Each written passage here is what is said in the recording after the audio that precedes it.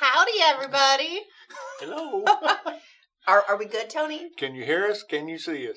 Looks like it. Okay, hopefully everything's good. Tony just did like the slowest countdown ever to get us going here. We weren't we weren't sure what was happening. Mm-hmm. But we are here. Hope everybody is having a lovely day. It has been sunny the last few days, which has been real nice. Yes, yes, not uh, quite as Because last week was dreary. dreary. Well, it wasn't dreary. It was snowy and freaking cold. Well, I I consider that the same You thing. consider Denny. that It's- dreary? It's all dreary. Okay. I don't like being cold. To a song, "Have you ever seen the rain?" And yes, We've we seen it. We've seen it. saw it. Not as much as Seattle though. They got the they got the ice storm this year. We we had our fair share back in like what was it 2007? Yep. I think it was. Yeah. Seven. Yep. That was a that was a fun week. hmm I was out. I lived on my farm then. We were out of power for 14 days. Did you have a fireplace? We had a fireplace. No, we had a wood stove. Yeah. But that didn't help a whole lot. no. We went over to my in-laws. They had a generator. Mm, living it up. They had hot water and everything. Yeah, I tell you what, um, we're really reliant on our. You know, I was thinking about that. I was I was thinking about when all this happened. Um, I was thinking about how much of a recent thing it is for all of us to be so reliant on like public work systems. Yeah. Because for forever you just did your own thing. Like, Mhm. you know, you built your fire. Like everybody had fireplaces. Like there Mhm. wasn't this like worldwide electric situation. And now that's what we have and we're all just real screwed when things go Yeah. down Yeah. because we don't know how to be self sufficient anymore. Yeah, even out on the farm because everything relies on a, an electric pump. Or, Yeah. or gas of some sort. Yeah, water is important. Yeah, So, in any case, guys, hopefully everybody's doing outside or doing okay this week. If anybody, you know, did have to deal with crazy outside things, hopefully it's melting at this point. Uh, yeah. So Denny finished up his what did I finish? master's class. Oh yeah. Is what I'm going to call it. His master's class. his master's class um, for tooling, and we said, you know what, Denny, that was a lot of fun, and people really enjoyed it. Why don't we do the beginners one so that Yeah. everybody can learn how to start? And so he's like, oh yeah, we could probably do that. So that's what we're gonna do. Yep, this is just basic. If you can do this, you can do what we did in the, the master's class. Exactly. Yeah. Just adds a few more tools, a few more techniques. But anyway, should we get started? Uh, I think so. Okay. What we're gonna do, and I don't know, have you got overhead, Tony? I do. Would you like me to switch to it? If you wouldn't mind. Oh, okay. I don't know. Oh, look, it's not too bright. at all. Okay, we have four different patterns here that I generally start off Ooh. with in the in the. I call it the novice class because no one wants to be called a beginner. Okay. So everybody's a novice. Everybody's a novice. But I've got four different patterns, and and we don't always get through all four of them in the in the uh, novice class, but uh, we get through generally at least three. All right. But we're going to start off with number one, and that's probably the only thing we'll get done today. But but still, it will teach you how to use all these tools. There are seven basic tools that we have here, seven basic stamping tools, plus a swivel knife and a set of wing dividers. You want to tell us about your tools? Yes, I will. Okay. I will. We start off here. Well, we start off with a swivel knife, which is a basic swivel knife. Any anything you have will do, as long as it you can get a good sharp polished edge on it. Okay. Then we have uh, a beveler. This is a PB013, and it is a steep beveler with a checkered face on it. A PB013. Yes. Okay. And if you have a different beveler, that's that'll do, but it should be a steep beveler. You know, the the old style flat bevelers don't do very good in this type of pattern. Okay. Next is a parashader, and this is a small uh, checkered face parashader. There again, if you've got a smooth face parashader, that'll be fine, but the smaller the better. And what's that What's number? your number? This is, a, it doesn't say. This is a P217. P217. Then we're jumping up to a flower center. And uh, a flower center with a beveled edge on it like this one is preferable. If, if you see the edge of that, it's, it's actually beveled. It doesn't just come out and square off. and you will see later on why that's important. But this is a PJ 040. PJ040. And the size doesn't matter near as much as the shape of that, uh, that tool. Next is a veiner. This is a V715, and it is just a, it's a serrated veiner, but it's not scalloped, and it's fairly straight. It doesn't have a lot of arc to it, and that's preferable in what we're going to do, and you will see why later. Then we've got a backgrounder. This is an A888, and basically any backgrounder you have will work. Uh, I, I really don't uh, differentiate, but but that's the one I've got here, so that's the one we'll be using today. Okay. Uh, next is a mule's foot. This is a U851, and it is just a very small mule's foot. Just the smallest mule foot you've got will work. and lastly, we've got a camouflage tool. This is a C830, and uh, about any camouflage you have, a a fairly small one would be the best. Okay. I've got, I generally hand out two pieces of paper. One is, uh, it has a tool progression, and that will be the order that we use these tools in and what they're used for. And I will go through each one separately as we go today. You're so fancy with your little pamphlet and everything. Am I not? I, it's, it's He's not, that, amazing. he's not that fancy because I made him a whole thing with all of this printed out, so nice and beautiful. They are gone. Yeah, we need to print more. Yeah. I feel like I'm always telling Tony we need to print more. We've got our free patterns up front, and I'm like, Tony, we need to print more. All the time. Okay, and lastly, this sheet has all four of these patterns on. These four. I used to do round coasters, but I got tired of those, so now we're doing square ones. All right. And- and I like kinda- squares. They're kind of cool. Yeah. But uh, each one of these are numbered one, two, three, and four. Uh, and we use these. These are a tracing pattern. And I always tell people you can at home you can do this several different ways. One way is to take a piece of uh, tracing film, put on here, trace over it with a pencil, cut it cut it out, and then trace over it on your leather. Or you can do it like we're going to do it today. You can just take packing tape, and I don't know if you can even see the shine on this. Oh, there's a little bit right there. Yeah, but I have actually taped the whole backside of this with just regular packing tape. Any kind of packing tape you have. Uh, don't use painter's tape because it won't stick to this as well as you need to. Okay.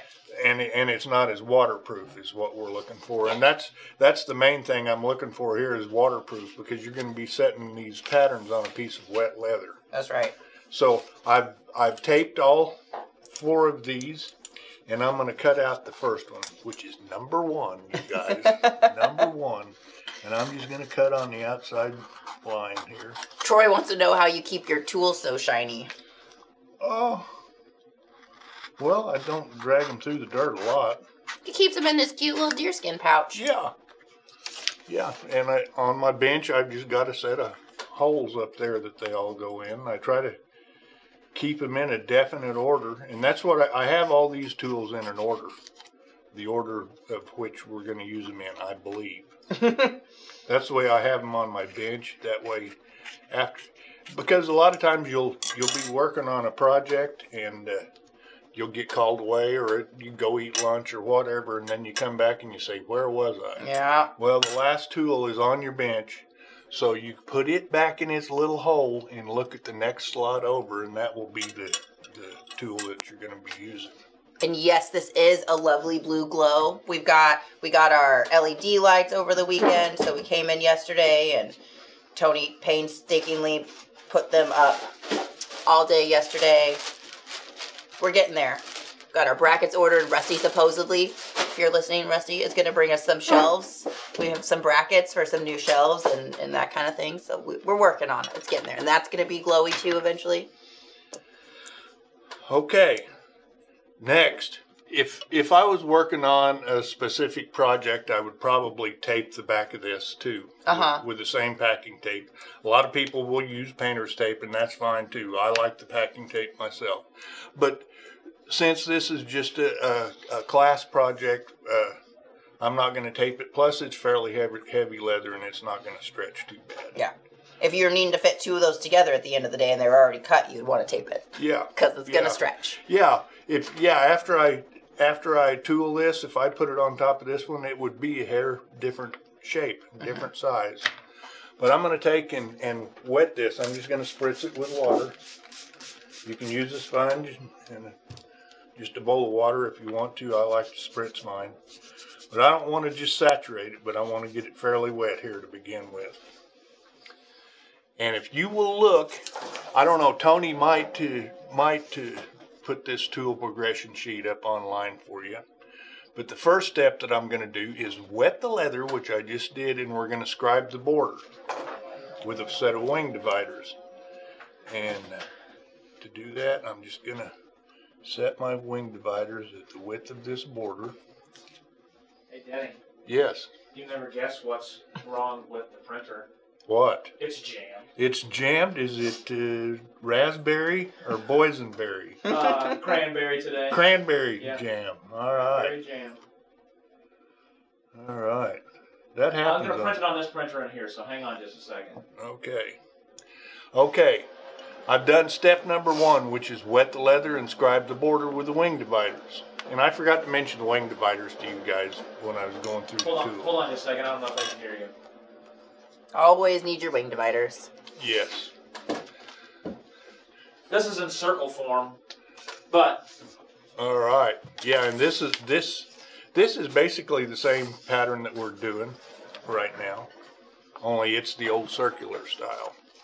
And he has do you have the tool the what? Yes, you do have the tool progression here. That's great. All right. I've shared it in all the chats, so look in the comments section. Okay. Live chat comment section. Okay. You might want to uh, print a set of these square patterns for them too at some point, since that's what we're doing today. Oh, cool. Okay. Step number two is I'm going to cut the border with a swivel knife. Now, a swivel knife, you guys are all beginners, so I'm going to kind of go through something with you here. this is called the, the cradle or the yoke of the swivel knife. And I like to hold mine about like this. I don't want to get it up here like this or over like that. Just just about that first knuckle is where you want it. And this is your motor on your swivel knife. These finger and your thumb are your steering wheel. That's that's the way I like to explain it Okay. because this is where your power is coming from. If you push down, it will actually start moving the swivel knife. and you will probably want to get a piece of scrap leather and practice on this. But you hold your swivel knife, tip it forward just a bit, but not side to side. You want to tip it forward a bit and just follow that border line that you've cut. Ideally, you want to cut about halfway through the leather, Hey, Denny, can I ask something of you? certainly. Can are you able to cut like that so we can see the tilt on your the tilt on your blade? If I get over here like this, maybe. Can you see that? Yeah. Okay. I'm just cutting all four sides of this uh, border. When you're when you're trying to cut a straight line, if you will watch where you're getting ready to cut and don't worry about what you've already cut, you will get a lot more harmonious outcome to this. Much like driving a car, look where you're going, not where you've been. Yes. Okay. Yes. If the minute you look where you've been, you take your concentration off of what you're doing, and uh, you've already, if you messed up, you've already messed up anyway, so it doesn't matter. Christian, we can send you we can send you some specs on it. I mean, that's it's not a hard assembly. So, I mean, and then you just need to decide where you want to put the pouches yourself. So, we can we can take some pictures of it and send you some specifics and I assume that you can go from there. Worried about the tool? No, they're they're wanting um the big organizer that used to hang behind us on the Oh, wall. oh, I see. Yeah. I see. Okay. Next, I've got the border cut. I always cut the border before I trace the pattern. And the reason for that is, and a lot of people might do it a lot different, but the reason for that is when I'm drawing these lines, when I get to that outside border, I can kind of feel that, that cut line that I've already made, and I can stop there sometimes. you don't want to cut past that border if you can help it. But, uh, Yeah, or mark past it because Yeah. you're always going to be able to see it. right. And I forgot to bring a dead weight. Oh, I can help you with that. Okay. But anyway, when I'm tracing this, I'll always start with the large features, which which in this case will be the flower. So I'm going to trace that pattern first. And I'm using a ballpoint pen. I don't want to use a pencil or a scribe. A lot of people will use a scribe, something like that. But on paper, uh, that will kind of tear the paper, kind of bunch it up especially if the paper gets at least a little bit damp. But the ballpoint pen will actually roll on this paper.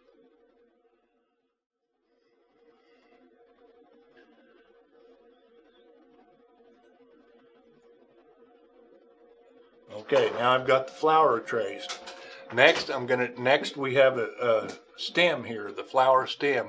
And I've got that marked, I've got a little V marked there. Thank you very much. You're welcome. I've got a little V marked. I'm not going to trace that V because I know what it is, but I put that V on there so you folks can see. But I'm going to trace out this flower stem. And you guys, I know you're not going to be perfect with your tracing, but come as close as you can. Because if you get a lot of really odd shaped lines in there, later on you're going to say, where am I? and no one can help you. I'm sorry. Okay, I've got the, the flower, the stem, and I've got this one chicken neck, turkey neck done. So next I'm just going to go around the inside of the flower and trace all these lines. Okay. Um, let's see here. Somebody had a question about they bought some elephant and they're wanting to make a wallet and they're wondering if you need to seal it up. Um, not necessarily. Most exotics are going to be like a finished chrome tan, but they might have like an open finish, which does a lot. Like a lot of times with elephant, it's not heavily finished. You don't have uh, a heavy, and so sometimes, especially with black, that color can bleed a little bit on you. So you might just you know spritz it with some quick shine. I would probably do a spray on finish like quick shine um, or Saddle-Lac with elephant because it is so like porous and you've got so much texture on the top, so that'll kind of get you all of that texture covered up where a wipe on finish might be too much. You might get too much down in all those spots. Um, so, like I said, you don't have to finish it, but it can't hurt to finish it. And also, if it's black and your color is bleeding, then you just might want to finish it. Right. So, those those are all the things. Okay, I've got all these inside chicken necks traced. Now I'm going to go to the outside and trace all these lines. And if you'll notice, I think you can notice what I just did. I've come all the way around here. I didn't start with this line and go all the way back because this is the line that comes all the way around and this little short one just goes to that. Mm-hmm. That's the way you want to cut these lines too. Okay, now watch this. This this line goes all the way around. All the way. And this little short line cuts to that. This line will go all the way through. This one cut to it. This line goes all the way through. Cut to it.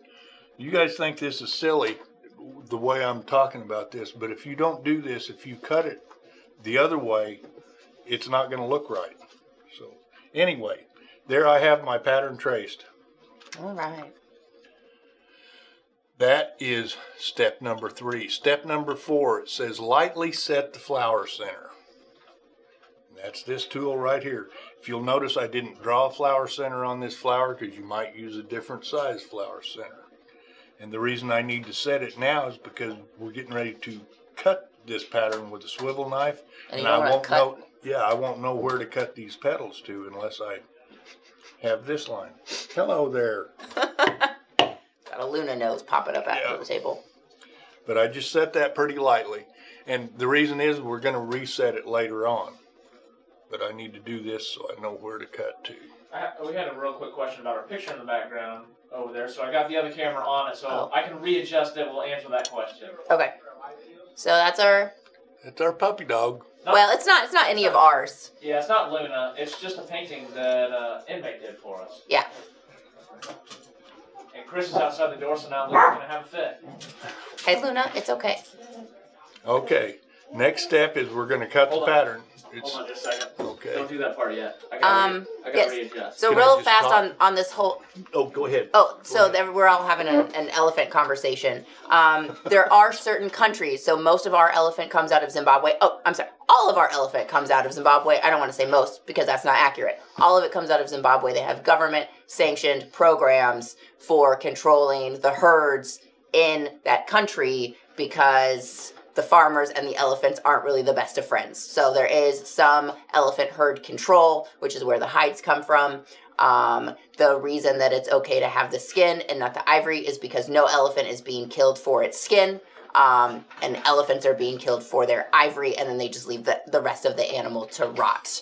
And so that's poachers doing that versus um, when it comes to the government stuff, you're taking the old and maybe the extra rambunctious bulls that are um, terrorizing the farms in that area. So, is it a perfect system? No, it's not. There is no perfect system for us living with massive If it animals. was in- perfect, you guys wouldn't have any elephant hide.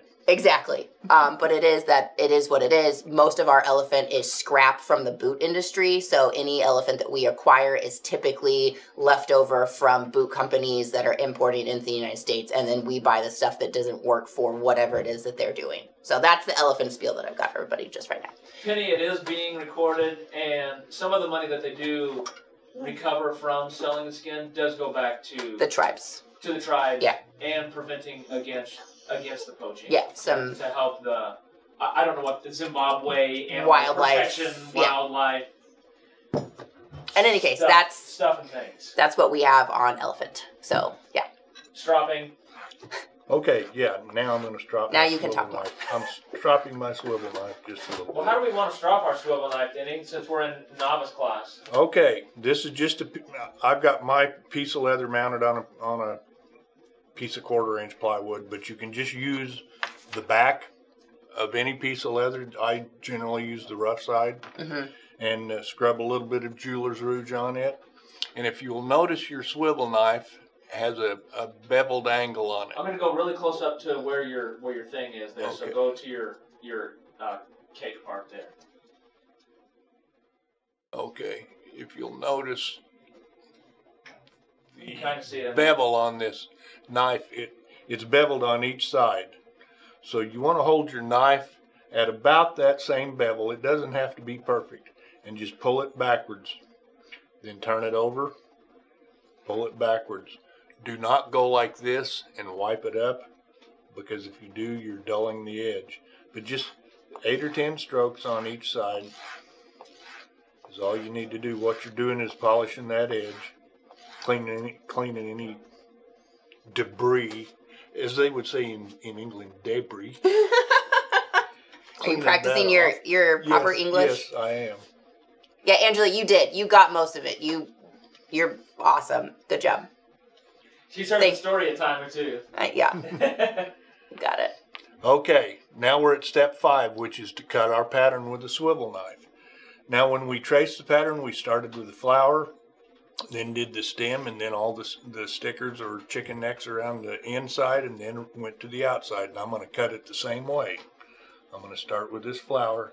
Doesn't matter if you start with the outside of the petal or the flower center, it doesn't matter. so when you're when you're cutting, Denny, can you talk about like the flow of the flow of the cut just a little bit? Yeah, you on the flower, everything wants to uh, to follow. If you follow through with each cut, it will want it to go right to the center of this flower. I'll show you what I mean here. All right, now I stopped my cut right there. If I would have followed through with that, it would have ended up right dead center of that flower center. So the the flowers, everything concentrates on the center. All the vine work, everything concentrates on the center of the vine, which is always going away from you. So you have to keep that in mind. The different colors of Jeweler's Rouge. Uh, we only carry the one, or do we have a couple different colors? We just carry the Mm, white. Just the white. We used to carry red. That used to be kind of standard of the industry. Everyone carries white now. I, don't know why they don't carry the red, but uh, I mean, you can still buy them. You can go to Harbor Freight and you can Yeah. buy the whole set. You can get the green, red, and the the white. Yeah. The white, I think, is the most fine, or is the red the I most I believe fine? the red is a little finer, okay. but not enough that uh, it will make a, any difference with what we're doing. So just get white or red. hmm Uh, green is a little too aggressive for what Okay. we're doing, I think. Uh, okay. I've cut the flower stem. Now I'm going to start cutting these chicken necks around the outside. Now I want to say something right now. I'm going to cut this line right here, and it ends up right here, right out mm-hmm. in the out in the middle of nowhere. I see that. Yep. I'm not just going to stop that line. I'm going to let up on my knife and just float that out into a hairline. Your little fingers in the way, but can yeah. you see what I did there? It Well, you did it with in- kind of both of them. yeah, Kind of. Yeah. yeah, yeah. But uh, mainly those lines, those lines that end up out in the middle of nowhere, you don't want to just stop them blunt. 'cause Mhm. It, it looks like you just cut that stem off right there. We don't want any cut stems. we want tapered that's stems. Now I'm just going to go all the way around the Got your fat on ins- hand. Inside of this flower. Maybe take us away. Am I okay? Yeah, you're okay. Yeah, sometimes with such a small project, guys, it's hard because Denny still has to hold the thing that he's working on. Um, let's see here. Holly said that she has problems with her jeweler's rouge. It just crumbles. She she has a hard time getting it to like come off and make such a nice surface. Do you have any tricks for people that I have just crumbly? I just scrub it on there like a it, like a piece of chalkboard chalk. Mhm. That's kind of what it feels like, and just scrub it on there and, and let it turns to powder. I guess Holly, I I I'll ask like what? How old is your jeweler's rouge? Is it maybe a little extra crusty? Do you need to get some new? I don't know. It could be if it's set around and dried up a lot. It could be that you just need to replace it, and that's why it's just crumbling so much when you go to try to use it. Oh yeah, your hand was difficult. I'm trying to do this without my hand. I know. I'm so sorry. it's hard to hold on to your stuff, and If you can hold it right there and just kind of cut in that, just right, just right like that. Don't move from that spot.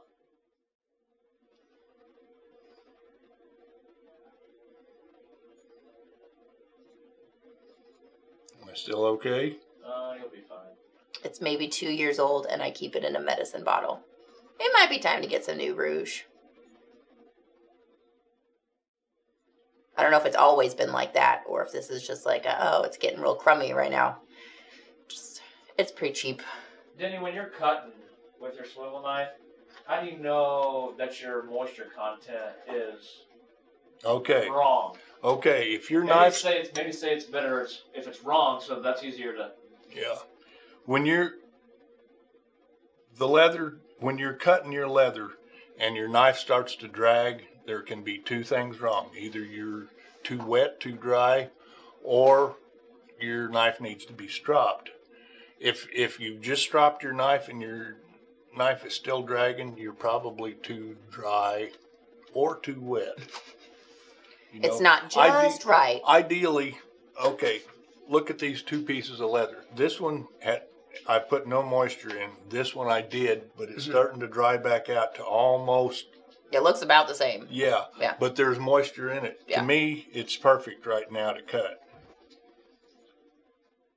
If you if you keep adding moisture to it when it really doesn't need it, pretty soon you're just going to saturate the leather and you're going to have the only thing you can do to to make it right is to let it dry back out. Now, I don't know if you guys can see this, but Denny's not necessarily hitting the line exactly as he goes. Yeah. And that's okay. Yeah. You don't have to. Just Because it's gonna it's gonna get covered up with all the other tooling.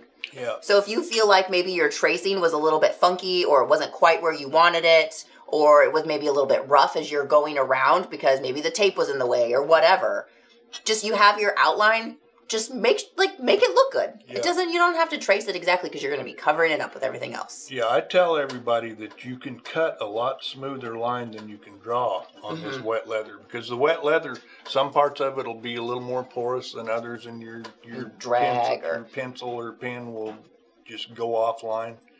But just smooth it out with your swivel knife when you cut it. Yeah. All right, I've got the pattern cut here. At step number five. Uh, do you have a piece of dry leather here? It hasn't taken any moisture content. What's it look like when you cut it? When you try to cut? For one thing, your your cuts won't uh, open up like they should. You can just Oh. kind of- But right back where I You you see go. that? And I put just as much, probably more pressure on it than I did on on this. and you could see you could see his knife jump jumping just a little bit. Yeah. Okay. What about if it was over wet? Can you show if it was over wet?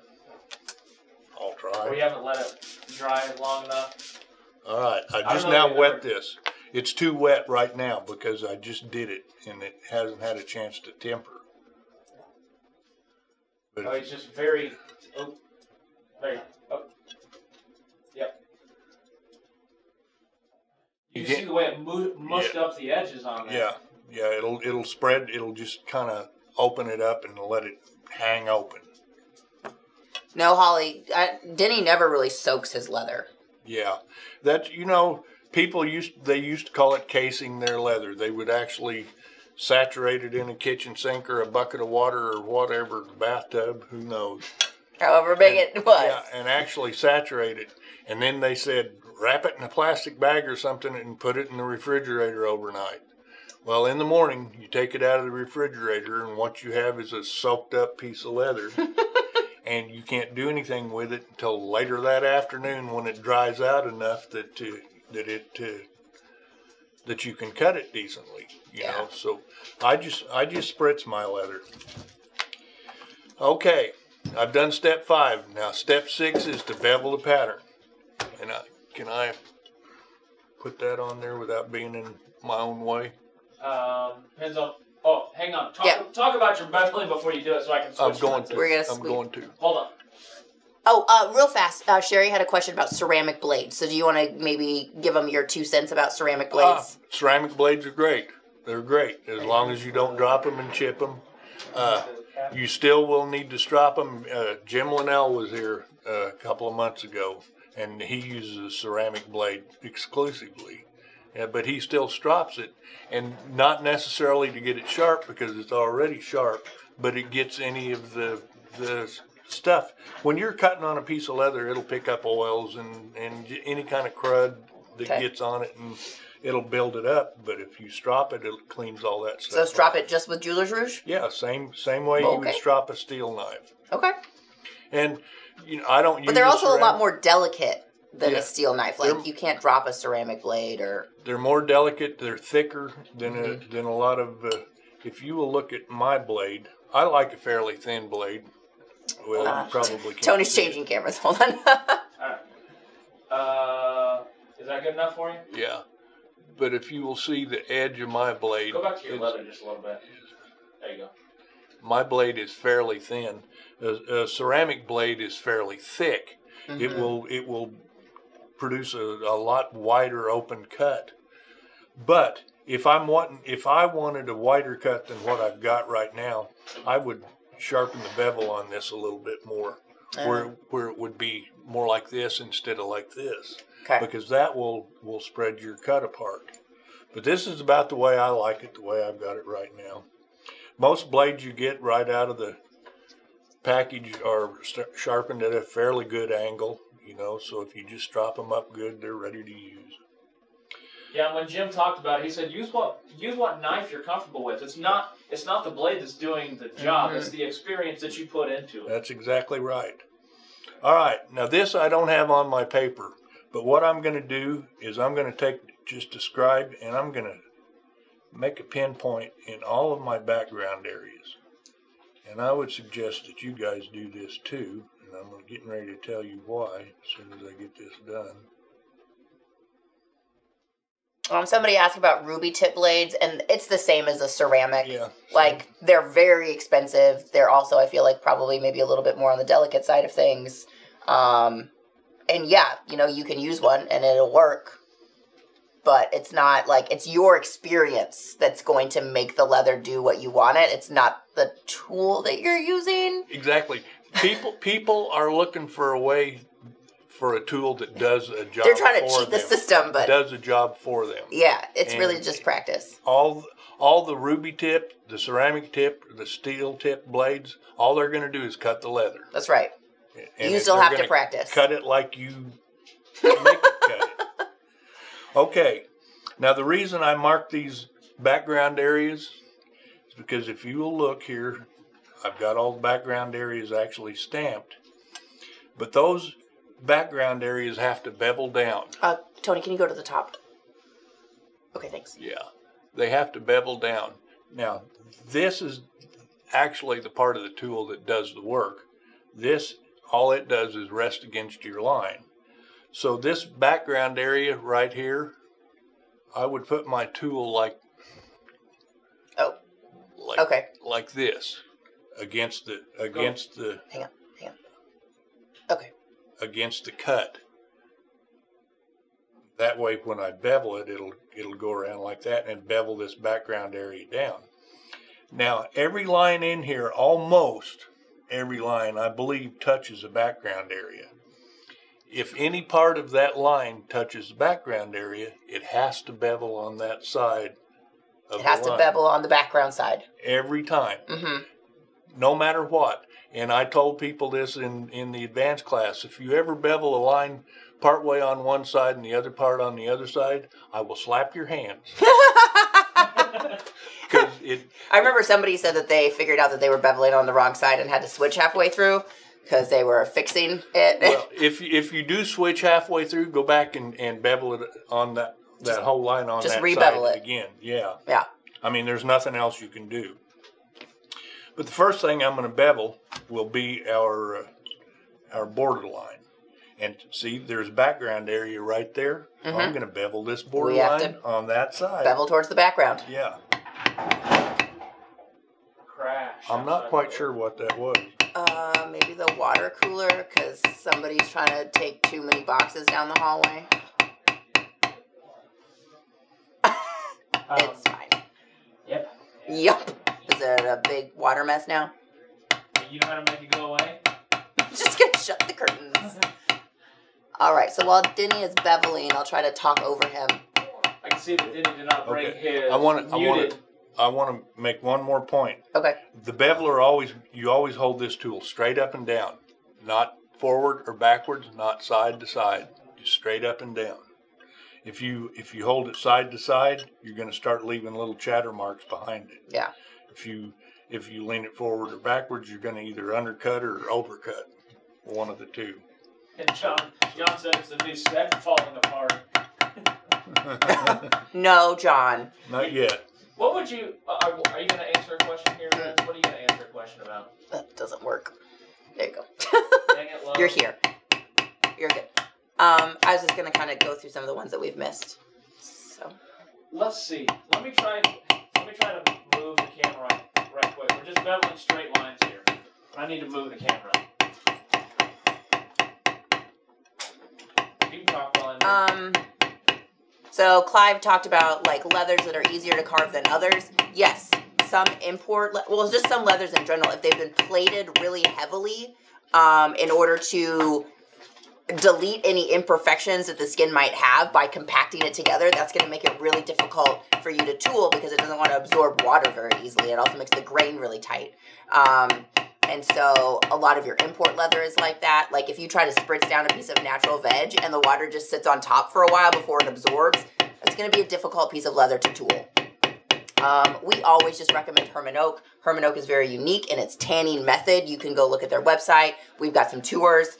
Um, Hermann Oak is one of the few tanneries left in the world that uh, tans in a very old-fashioned style. It takes a lot longer than other tanning methods, but it produces a very tight grain on the back, which holds the tooling the best that the best that it can. Um, it holds molding really, really well. So we're always going to recommend Hermann Oak. Wickett and Craig makes fine leather. Import leather is fine leather. But if you're looking for the best tooling leather out there, it's Hermann Oak. Yeah. That's what it is. Hands down. Yeah. Um, Hey. Yeah. I wonder if this will. We talked about it. I wonder oh, if it'll quiet it down some. okay. I don't know if it will or not. But, Guys, tooling is loud and I need you to just get over it. well, we're trying to make improvements. We're not above improvements here. Constant improvement. I'm above it. Oh, Okay. Nope. Okay. Yeah, that should be Am all I okay there? Dean, I don't know it's a it's- horse hoof pick.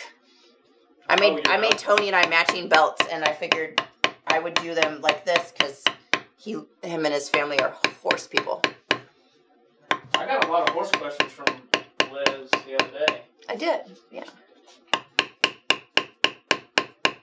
Uh, let's see here. I don't know Oh. if it comes through. I feel like it's quieted it down. It does. It is muted. Oh, our set is not. Yeah, we're fine. They knocked down the water cooler outside of our door. See, It's fine. good. Yeah, it's fine. We're still good. Everything's good. Um, So they knocked down the it might cooler. flood in here, but it's fine. They broke the water cooler, knocked it over, tipped, knocked the first aid kit off the wall. Oh wow. Yeah, those guys. water Okay, well Ryan's everywhere. gonna have quite the afternoon. Those guys out there need scuba gear. Um, Holly had a question about intersecting lines, but I can't see the end of it because it's not wrapping. Um, It's on Facebook. How do you deal with intersecting lines? Do you cut them or leave them All right. a space. or leave a space? All right. I I'm thinking she's talking about a line like right here. Okay, This line, if you will notice, goes all the way to the center. right. Those are the ones you cut goes- first. yes, Okay. that's the one I cut first. Yeah. That's the one I drew first. Uh, this line here just goes to that. So I will bevel this line that goes all the way through to the center.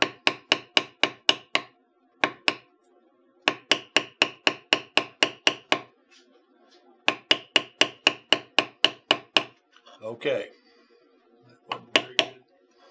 Okay, now this line here, I'm going to bevel it, but I'm not. The main thing I want to do is not over bevel, bevel into that other line, the, the intersecting space. So I'll probably stop just a hair short.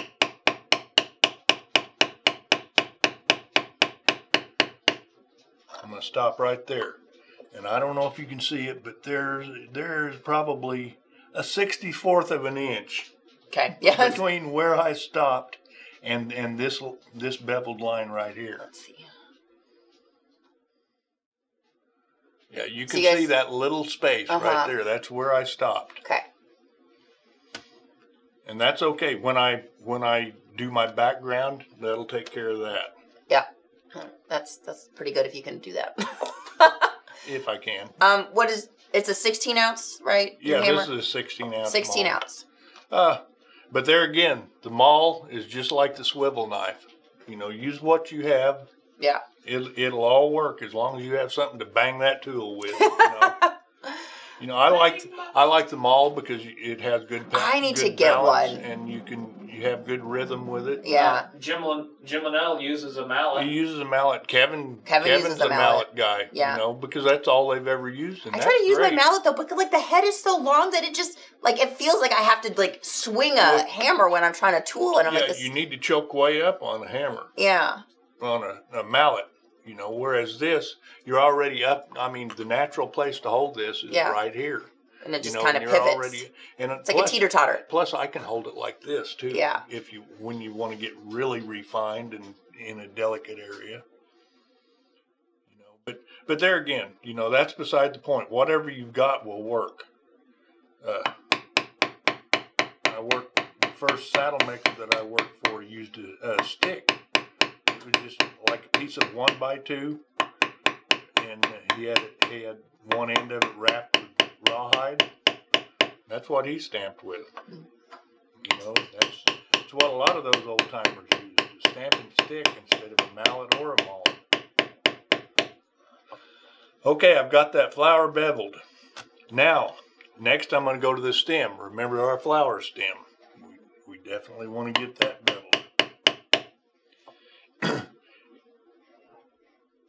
Look at that flower just coming to life. Yeah, it's alive. That- yeah, Holly gonna says she feels like this is her own personal lesson. Look at you go, Denny. Doing great. Good.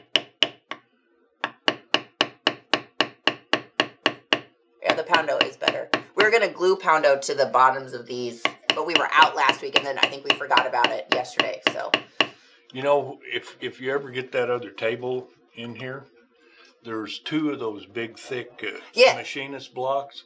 If we could put one, Well, we're gonna get the- one. The thicker your marble is, the quieter. the quieter it will be. we're gonna put one in this corner. We have we had to order a new table from Grizzlies because we didn't have it either of the stands anymore. Jesse couldn't find them, so got the table ordered, but it's on back order right now. So it's ordered. We just don't know when it's gonna come in. And then this corner will be our setting corner.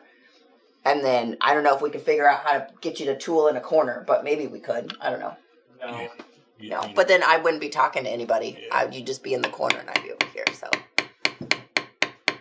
I think it makes a difference listening in my, my headphones. I think everybody said it made a difference. So Oh, perfect. everybody's happy with the Well, poundo. today I have. Should just go home after this video. Um. All right. So, are you beveling at the same force all the way around the petals? no, Okay. no, and I was just getting ready to mention that. Okay. Remember when I said to feather the end of those lines out that Mhm. end up out in the middle of nowhere? That's the way you want to bevel them too.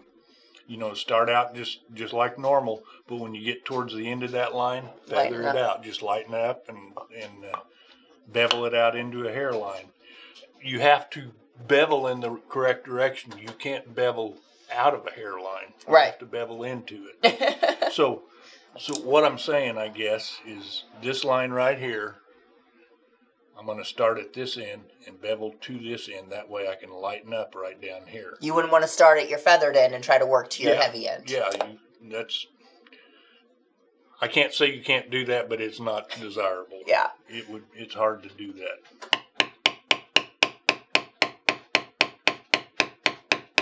Okay, now just listen to this. See how I did that? You Mhm. hear how I did that? Did you hear the lightness? Yes.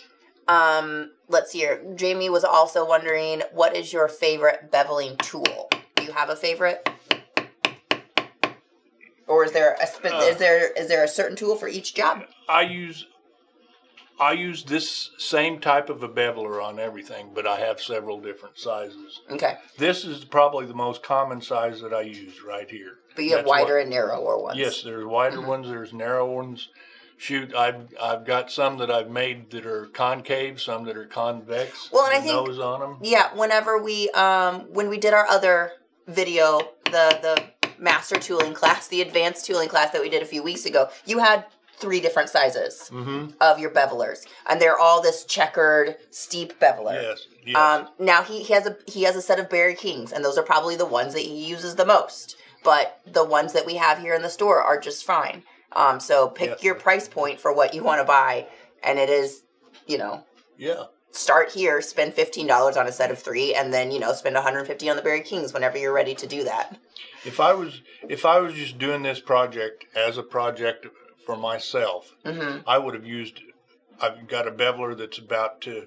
This is a, a little over a quarter inch wide. Yeah. I've got one that's about three eighths of an inch wide. I would have used it faster. on on the long straight to Yeah. border lines, and maybe some of these long straight to or long, really gradual arc lines.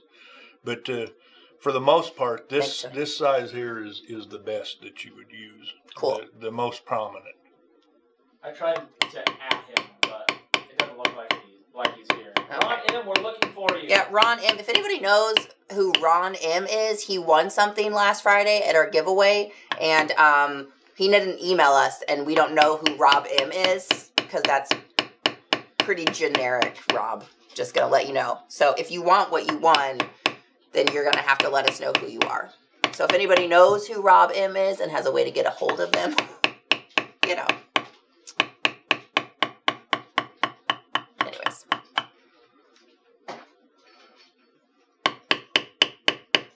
Rob M, you might have won something really good too.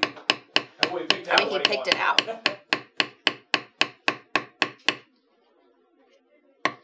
Do you Denny, do you feel like the more expensive name brand bevelers are better than the cheap ones? This one works just as well as my Barry Kings. My Barry Kings are stainless steel. They're all handmade. You know, they probably have a longer life. Mm-hmm. This the handles on these are a bit thicker. I, Oh, yeah, I mhm. enjoy the Barry Kings because they're a little thinner type handle. They're the handle more like on the them are standard more one. like this. You Yeah. can see the difference in the handle size. Yeah. But that's you know that's beside the point. You know whatever you've got that'll do the job is fine. There's a few people that said that they could stand in for Ron if they needed.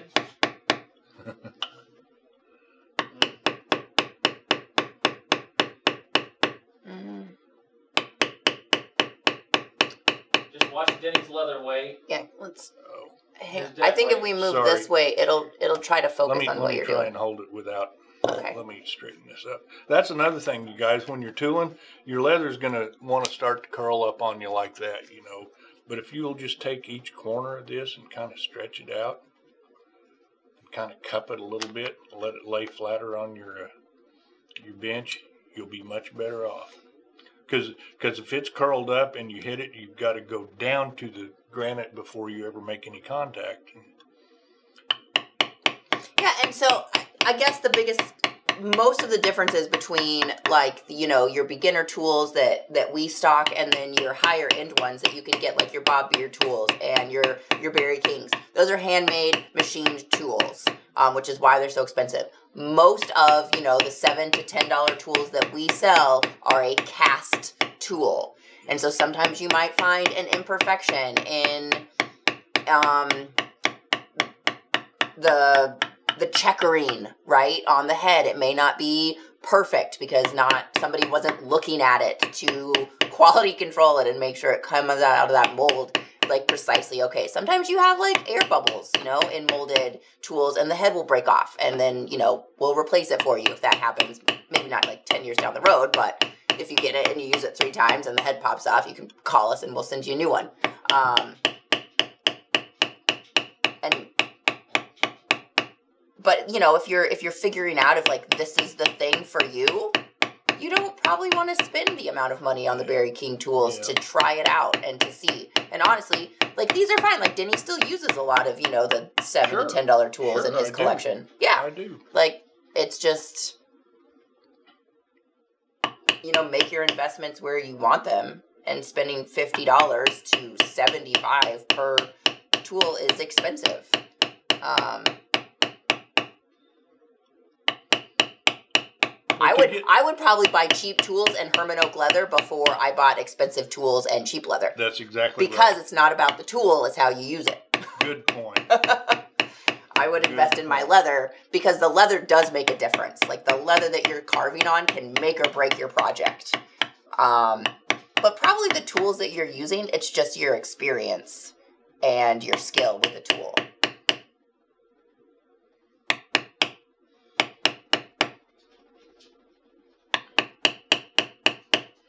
Got just just realize there's no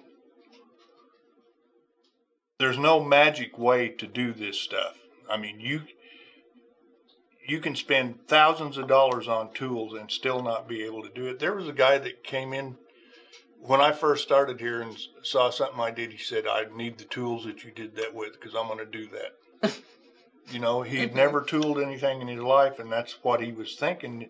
If he bought the right tools, he could do that, and he could do that, but not until he was accustomed to it enough to do that. Yeah. You know, and you guys, Yeah, that's good. The backside of your work is always good.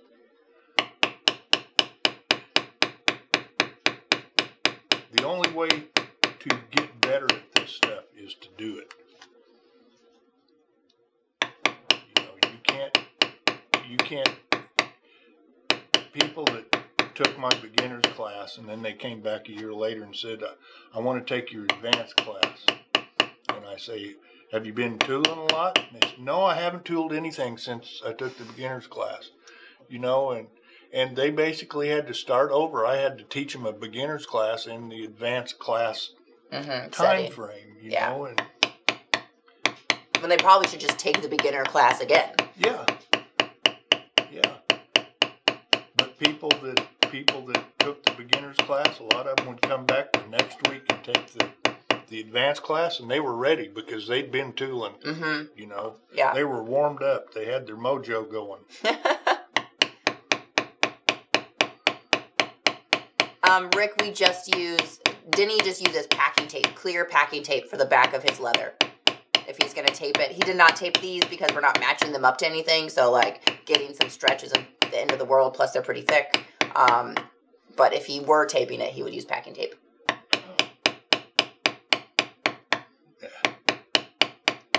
Um,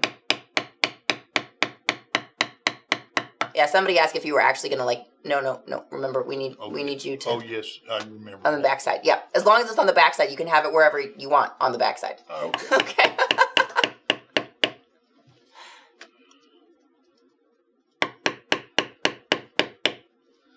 Do the do the tools wear out over time? Did you guys talk about that? Sure, you can wear tools out.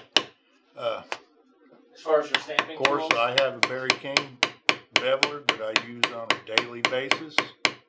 Had it for years and years. You know the the front edge of it here is getting Kinda get kind worn of down. shiny. hmm Still works fine for me. Okay, so I have some people are being like, oh, you know, we can't see past your hand because you're tooling. But maybe you guys should really like look at the way that Denny is holding the tool and how his hand is on the table. Like he is supporting his tool with his other fingers on the surface. Yeah. So like like for people that are just out there and they want to hold their tools like this and try to do things like just up here, look at the way that Denny is holding his tool. His hand is literally touching the table. He has a he has like a firm he knows exactly where this tool is and he can scooch it along. So, I mean, take notice of that. Yeah, yeah. and He can- has like three or four feet, like he has almost all of his fingers on that, except for his pinky is on the granite. The rest of it is yeah, is on the tool, so that he has the most control over that tool. yeah. And that's another thing. You guys, I'm I'm actually walking this beveler along. When you first start out, if you've got to go like this,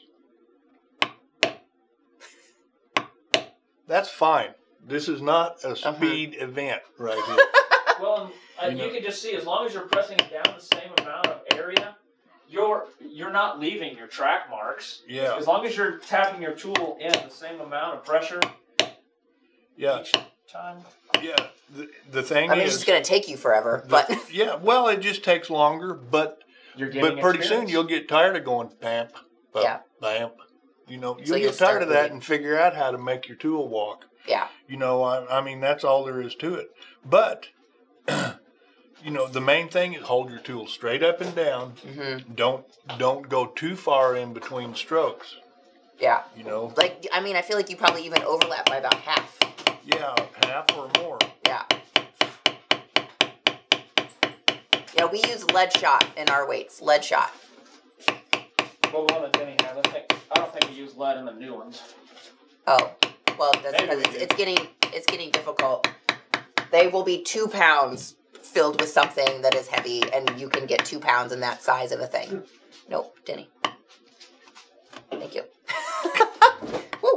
Just keep me lined out. Ah, that's what I do. That's okay. Let's see, we had a first time first time chatter Lycomb from Germany, another Germany. I don't know what happened to Marcus from Germany. Oh, Says we have a proverb here: a good artist can do good work with bad tools. That's right. Well, another Charles? thing too, don't don't get just the cheapest tool that you can find. I mean, Yeah, I mean there are like Amazon right now. I think has some like packs where you can get like twenty five tools for ten dollars. Guys, those aren't gonna last you more than like a minute. They're probably aluminum yeah, or some like I don't know what they are, but I well, it's, I don't know. A lot of those tools are like using a club. you know, I mean, they have no definition to them at all. yeah I mean, and I'm not, you know, of course, we want to sell you everything that you want to buy from us. That's for sure. well sure But the thing is, if you go to some place like Hobby Lobby, I guess I'll use that for an example. You know, they sell just the cheapest stuff that they can, and uh, you know, it has no definition to it, and people come here trying to say, I I can't make my tools do this. Well, the tools aren't made to do what you're trying to do. Yeah. All right, guys. So it looks like we're beveled. Yeah, we're beveled. Okay. All right, next step. We've done step number six. Number seven is the background. And I don't think I even need. This is our number A888. And I'm going to. Generally, it, this tool has a sharp end and a. Uh, where am I? You're over here next to Liz. Yeah. It has a sharp end and then it has a, a blunt end. And the sharp end is, of course, is where you want to get up in all these little tight corners. Can you go toward? Can you go? Oh.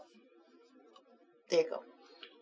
And I'll Perfect. generally, I'll generally just try to go around the perimeter. Kind of like a uh, teardrop shape. Yeah, it's a teardrop shape. Good point. But after you've done your perimeter, then just uh, go in and fill in all the rest of that field. And it doesn't matter where you start here. Just make sure you're in a background area and not, not, don't do what you don't want to do, you know? Yeah, so somebody asked about using metal stamps on leather. Yeah, you can use metal stamps on leather. However, we don't recommend that you use leather stamps on metal. So leather is really soft and pliable and and smushy. Um, so if you have metal stamps and you want to give it a try on leather, then by all means, see if whatever your metal stamps are, if you like the look when they stamp in metal or in leather. Although sometimes I will say it's a lot easier to get definition in metal. You don't have to have as much relief or there's not necessarily as, as much texture difference. Um, and I don't know. I mean, play with it. Get some scrap leather, use some scrap leather, whatever. Play with it, but don't go the other way because Yeah. these tools are not made to be used on metal. Yeah, if you They're use these made on metal, you'll just ruin the tool. Yeah. So, And maybe your piece of metal.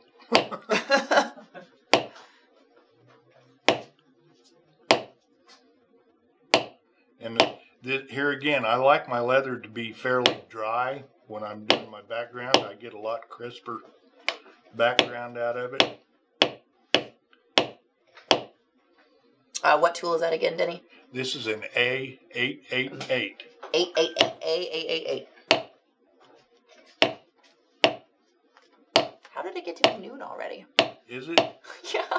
This might need to be. Are you getting a text about a lunch date again? No, I just. Like, we got something to do this afternoon. You can finish your breakfast for lunch. Vanessa, we have four cameras. We have three in front of us and one above us. Does Denny always background from the line inwards? Uh, no. I never do anything the same way twice, I don't think. Except for following his Yeah, instructions. I, yes. Do as I say, not as I do. Remember that. Sometimes it is though, you know, you can get the line, make sure you're getting it next to however you want it, and then you fill the middle in. Yeah. You know, I mean, background however you like. yeah. I mean, I mean, it's background. You're just you're just stamping that whole background down. Now, do you have any tips for people like you don't want to over background or Yeah. When you when you get up into a corner, like, uh, can you if Mhm. a lot of people want to get right in that little little smidgen of a tight corner, and then they'll they'll be over on on top of this flower stem or on top of that uh, chicken neck. That's too You far. know, that's too far. Yeah. You're better off stopping just a hair short than you are going too far. And for the person that was asking, Denny did mark all these things. You can see each of these little spot has like that little dot in it. That's where he went through after he got done cutting and was like, okay, these are my backgrounds. And he put a little mark in them. Yeah. Zachary Norton was. The, And you Zachary did something. you know when that dot that I made you guys put on there, you don't have to do that for every project. I don't. But when you're first starting, that's that's a dead giveaway as, as to which side of the line to bevel on. Yeah. And now it's simple. It'll be simple for you to pick out what where your background areas are. After you get your background stamped, then you can see what your pattern looks like. Because most of the time, most beginners look at this as just a whole bunch of lines. They don't look at it as the features of, of this uh, picture that they're doing. Um, somebody had a question about the dryer leather. So, uh, by the time you get to the backgrounding part, and I mean, this is pretty, like it it works, and like this is a good like method to go about your process of doing the tooling. But Denny's at a spot right now where his leather is pretty dry. Yeah, and I'm and I'm done with my background. Next step is my uh, pear shader, and I want a lot more moisture in it. Exactly. that. So, like, this has worked out to where we've got to this part. If your leather is too wet when you start to background, because especially depending on how much backgrounding you can do, that can really be a main cause of stretching in your leather, is because you're covering so much of your leather. Like, you're pushing it down and pushing it down and pushing it down. And so, if your leather is super wet, you're just going to stretch it all out when you go to do your background if it's too wet. Stretches real bad, and it just looks mushy. Exactly. You don't get these really crisp. You see how much definition is in that, guys? You see how much definition you've got there? And then if you're doing the bar grounding where you have those tiny little dots, you get nice crisp dots because it's dry enough to just hold it and not mush around. Especially as you may go over a spot, you know, one to two times. Like if you have to go over something twice, you're just going to end up with a big mushy mess if it's too wet. But if you're if you're dry at the right moisture content, um, it'll be nice and crisp for you. It'll seat itself.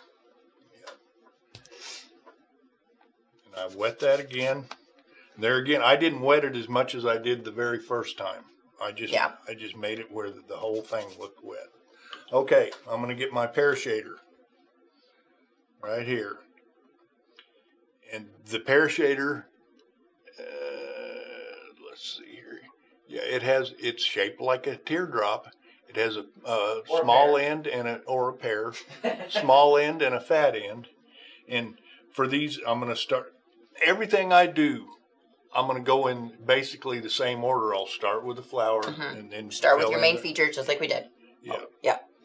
So I'm going to start with this flower, and I'm going to start a little way, a little ways away from that, to the tip of that petal. But remember our flower center. Remember our flow of, of the pattern. I want to aim towards that that flower center.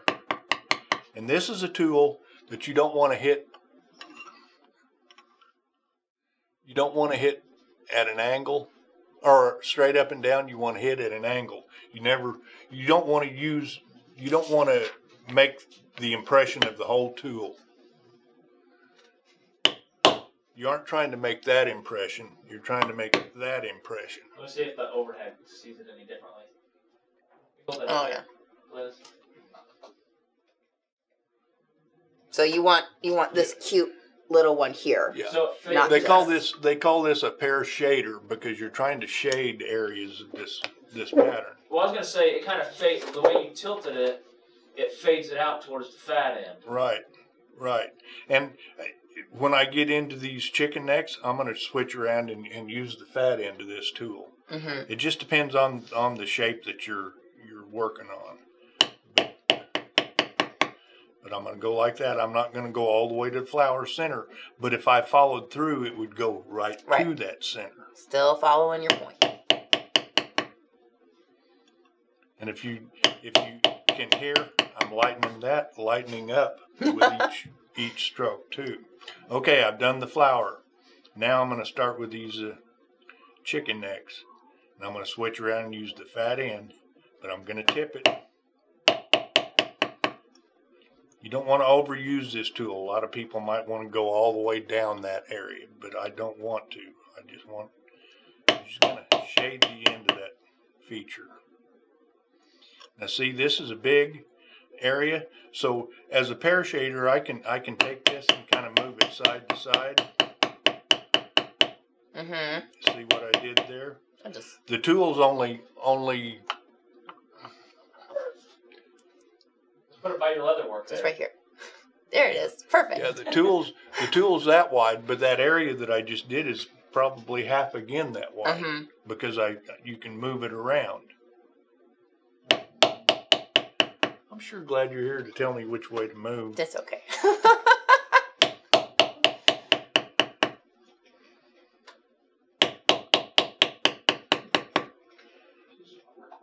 But if you can just listen to what I'm doing, I'm, I'm lightening up with every every little tap that I make.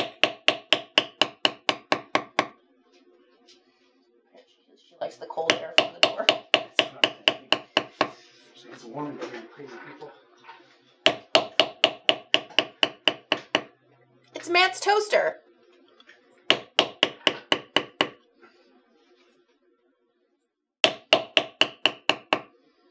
I feel like I Alright. Haven't seen Matt's toaster in a in a while. Can I can I point something? Certainly. out? Spin it spin it around until I oh, right right the the top the pedal leaf that's pointing towards Zenny. Can we look at that? I don't. So people are the the one that's on the right side. Yep, just hold just hold it up there. Okay. Don't don't worry about making little mistakes. The the tip of the flower was right there, and we pear shaded and just just nicked it. Don't don't throw a fit about it. Yeah, you don't want to do that. That's not You don't want to do it, but, don't. Yeah, if you did Don't it, throw you it did away. But Yeah. then he didn't start crying. He didn't do anything. He just moved on and kept You on don't pear shading. You don't have the camera on my face. Oh, let me zoom in on it. There's big We'll see a- crocodile A tear. Big crocodile tear. All right. Now I've pear shaded everything. I've gone. I didn't do anything to my flower stem. Okay. All right. Step number nine. It says stuttered the flower petals with the camouflage. Ooh. Now that's just what I call this. I don't know what other people call it, but I'm going to take this camouflage tool, and this is another tool that you don't hold straight up and down. You always tip it, because I'm not trying to. Where am I? I'm not trying to make the impression of this edge of the tool. Mm-hmm. I'm trying to make the impression of these lines that are back here. So I'm going to start a little ways away from this flower center. Give it a tap. If you'll notice, you can't really, you can faintly see that one edge, but that's not the main Yeah. part. Now I'm going to move it just a bit. Ooh, you're gonna stutter all the way up your little yeah. pear. All I did was add some texture to, to that to flower petal. Oh, okay. Well, that's fun. So I'm going to do that to all four flower petals. Yeah, if I would have been doing this project and threw it away when we I made my first mistake, it'd probably have been when I spritzed the leather. I probably would Okay. have done that wrong. All right, You're I've done here. that whole There thing. you are. I've done Look at that. all the way around. It just it, it did several things. One of the things that it did is it uh, camouflaged the end of that uh, Mm-hmm. You of that blended it. You blended the line. end. Yeah, but another thing, it just added some texture to that plain flower petal. Okay, now I don't teach. I don't show people this a lot, but I'm going to go all the way around this flower center with this camouflage tool. And why do you say you don't show people this a lot? Well, this is kind of a, an advanced deal that I'm showing here, but I hate just leaving it like this. So, but I'm just going all the way around that flower center. See what I see how it darkened that. What it's doing is it's making the illusion of, of that flower petal kind of diving in towards that flower center. That's all I'm going to do with that uh, camouflage tool. Now I'm going to take my veiner, this V715, Mm-hmm. And this is another tool that you don't hit straight up and down. You always tip a veiner. Because I'm not trying to make that. I'm making that. Turn. Uh, can you hold your hand up there again? Let me turn you. Can you make the same? Let's see. I can't see. Put it on there like you're gonna hit it again. Can you turn it like that? Yeah. Yeah. Yeah, I just want to tip it. I don't want to I don't want to hit straight down on it and make the impression of the whole tool. I'm just using one end of this tool. And we're not doing geometric stamping here. Yeah. Yeah. Okay. Nice. Now I'm going to get I'm going to get right up against this flower center on the edge of this flower petal. Just follow the follow the curvature of that flower petal. Get right up on the edge. You see what that did? Right here. There you go. Whenever you're drawing your patterns, Denny, do you take into account the angle of your veiner tool? No, I probably should. Just a happy accident. But I have several different veiners. There's there again, you know, when you start doing this, you become a tool collector. you know, and the main reason for that is you can do different things and give different effects with different shaped tools. I mean, there's probably a hundred different veiners out there or more Yeah, or there's a more. lot. All different shapes, all different sizes, all different arcs. Angles. hmm Yeah. But anyway, that's all I'm going to do with that. Now I'm going to go back and get my flower center. Remember, I said we're going to reset the flower center later? Now is the time. And I'm just going to set it on there as well as I can. If I would have stamped it really hard to begin with, this would probably wouldn't work out very well. But since I stamped it lightly, I can change the shape of that. Now our flower is basically complete. It's got a than- center again. Yeah. Okay. Okay. It's so difficult. Tony? Now I'm going to go back to my veiner, and I'm going to get I'm going to get right up against this flower petal right here. But what I'm going to do, I'm for your sake, I'm going to make myself a little dot. That's an aim point right there that I made. Okay. And I'm going to take this veiner and I'm going to get right up against the flower petal Mm-hmm. and aim right towards that dot. Remember, I'm not hitting this tool straight up and down. I've, Right. I've got it t- tipped. I'm just using one end of it. But I aimed right towards that dot. I'm going to move it over just a little bit, but I'm going to aim towards that dot again. Hey, Denny, will you say welcome to Christina's Leather? Welcome, Christina's Leather. Glad to have you. Yeah, she brought 20 people in here with her. Yeah. All right. But I'm going to keep going across here, get right up against that that flower petal every time, move it just a little bit from the last stroke, but always aim towards that one point. So I'm just fanning it across this flower stem.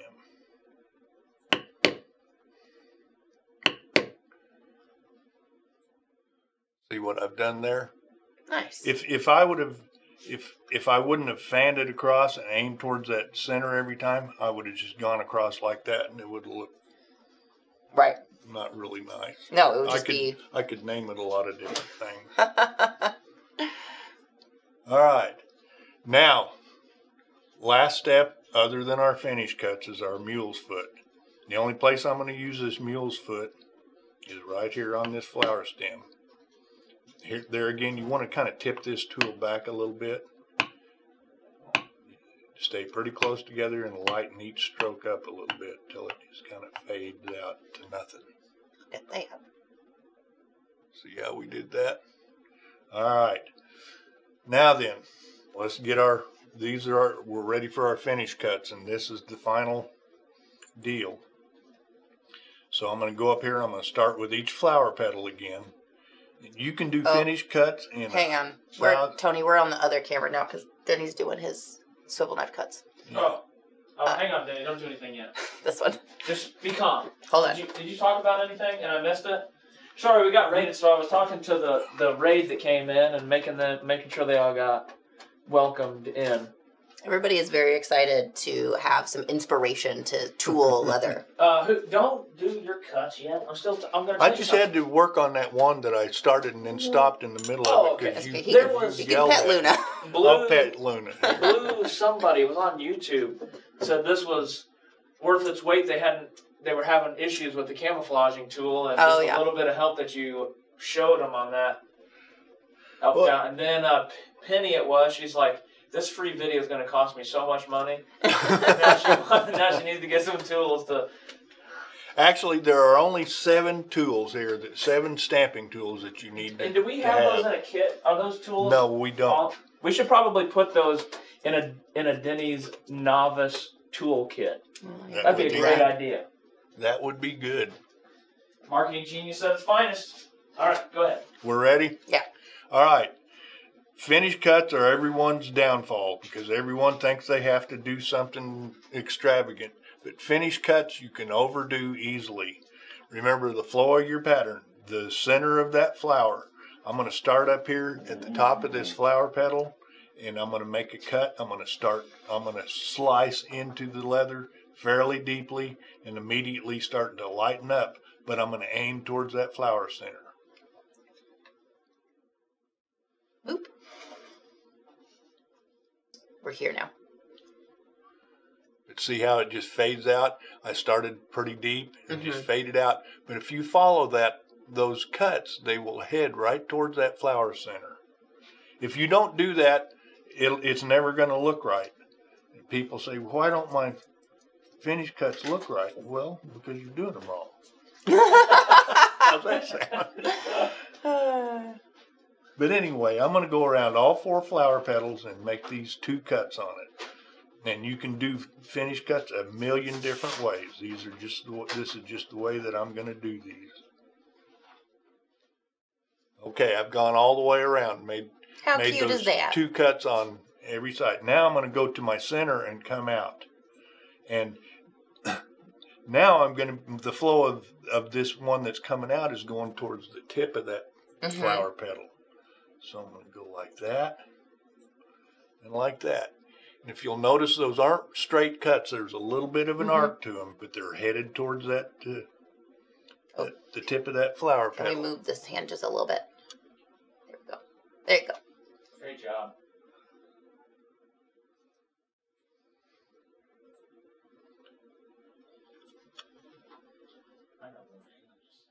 Just remember, just start deep and immediately lighten up and let them float out into a hairline. That's all I'm going to do to that. That the flower is done now. Okay. So now I'm going to go and, and start with all our chicken necks. There again, you don't want to overdo these. A little bit goes a long ways. I'm just going to make a couple little cuts on each one of these.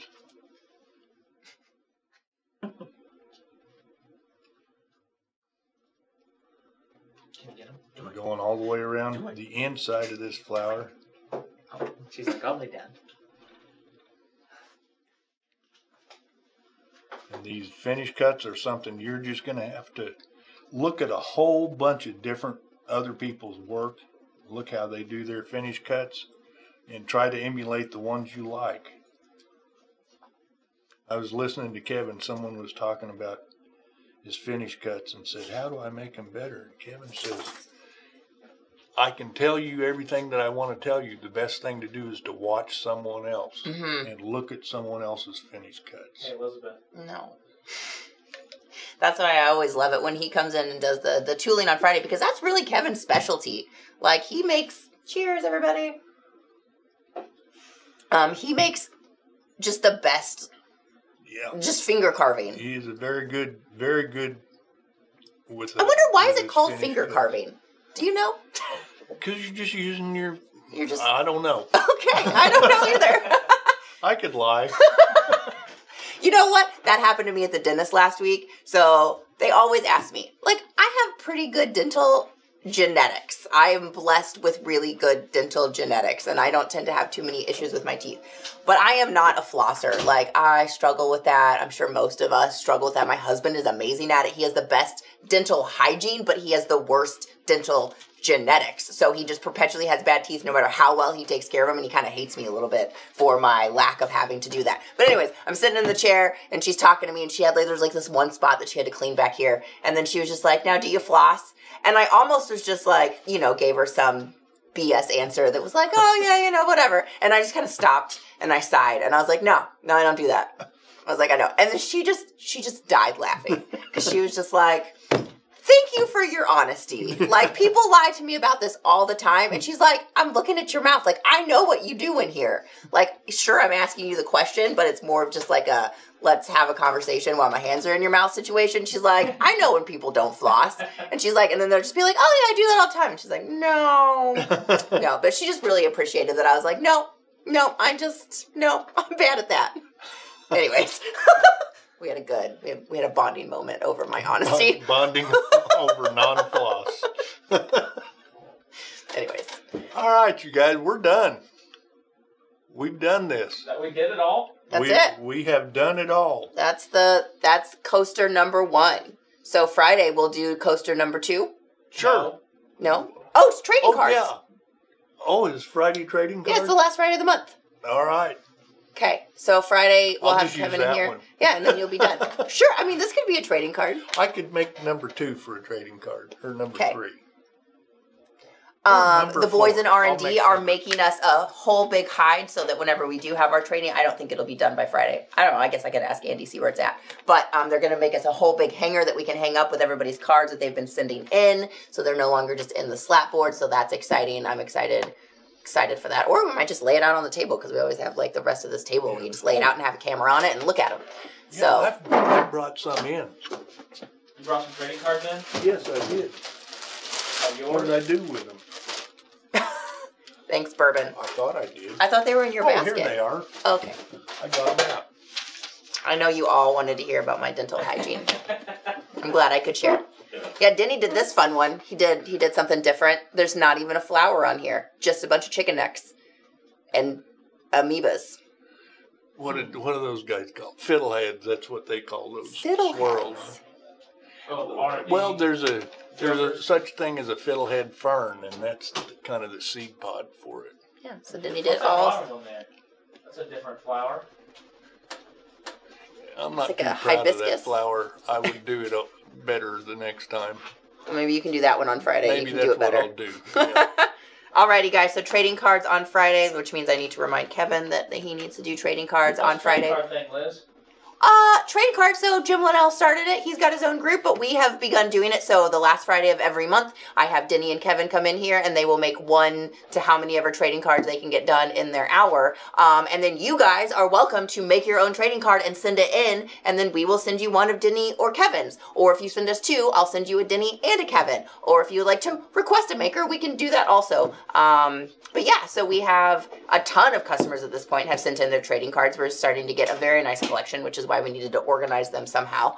Um, so we're making a little holder for them. But yeah, They can go up. They can go up and come down, so we can keep a clean background back. there. exactly. So yeah, so doodle doodle on some little card shaped things, and they don't have to be this size. They can. Kevin hates doing things small, so he always just cuts his own shape, anyways, because yeah, we don't have a choice. strong willed like that. Um, yeah. Uh, the piece that you that we did today, that little coaster, Denny. How would you finish it up? I would, He's gonna oil it and then he's gonna antique it. yeah, just So a light we'll- we'll light put coat of oil and uh, Yeah, Holly always oil and then dye. So oil first when it's nice and natural, just like this, and then dye. I don't. Denny, do you ever oil after you dye? sure. Okay, so you can do that too. If oil, uh, dye, oil. the thing about dye, it's gonna suck a lot of the a lot of any oils that are that are in your leather. It'll suck them out. Hmm So so it definitely needs some oil in it. Okay, guys, this is the same. This is the same Hermann Oak right here. This is Hermann Oak that's been around for a minute, and this is fresh Hermann Oak. But this is what it turns into when you just leave it natural and antique it. That's all that Denny's done here. Yeah. He oiled it, finished it, quick shine, and then antiqued it, and then quick shined it again, and then it's set there Yeah. for a little bit. Yeah, Um, how old is this? that's three or four months old. Three or four months old. That's the color that you can get, and it will just kind of keep aging beautifully with time. So that is tooling for beginners. Tooling for beginners, novice. Novice, Novices. not beginners. You guys aren't beginners. You're No, novice, you're novices. and you aren't amateurs now. Yeah, Matt. But you, if you need to dye, then you have to do it before you resist. So that that was my only caveat that you have Yeah. there. We Once- have a website ready for international orders. We're just making sure that it does the figuring of the shipping rates correctly. Oh, cool. For Bourbon Leather was asking about. He's like, I don't really like talking on the phone, but I know that's the only option to order from Canada. Yeah.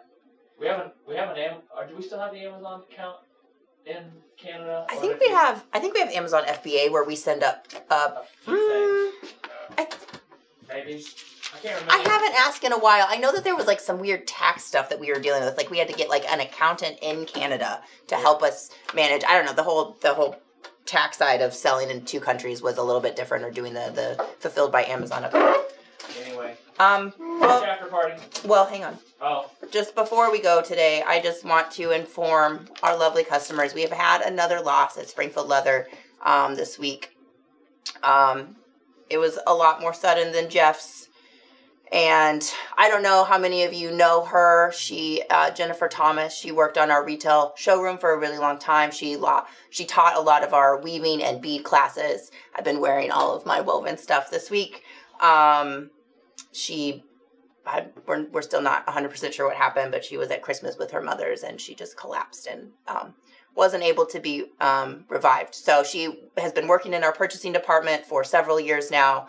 Um, if anybody knows Jen or has talked to Jen, um, we are going through her loss as well right now. So just, I don't know, guys. 2022 has not been a fun year for uh, a lot of things, but um, we appreciate all of you guys out there. So if anybody knew Jen, um, had taken her classes, or um, you know, she ordered a lot of leather for a lot of people. She did a lot of the custom stuff and things. So just keep her family in your thoughts and, and your minds um, over the next coming week as we try to wrap up um, all of that. So we will see you guys tomorrow for live shopping, and then we'll be back on Friday for trading cards. So hope you have a great afternoon.